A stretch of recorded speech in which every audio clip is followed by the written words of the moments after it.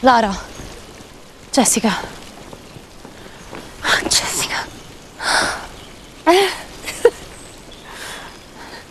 Come stai? Bene. Grazie. Hai rischiato la vita per me. E non me lo scorderò mai. Vieni qua.